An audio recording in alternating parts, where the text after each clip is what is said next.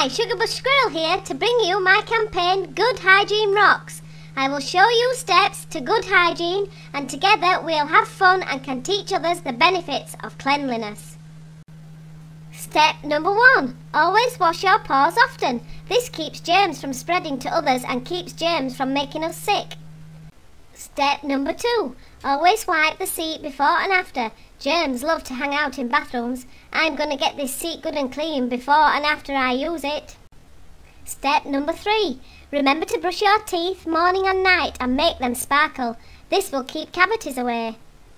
Step number four, make it a habit to change your bed linens often. And we all know there's nothing better than clean sheet night.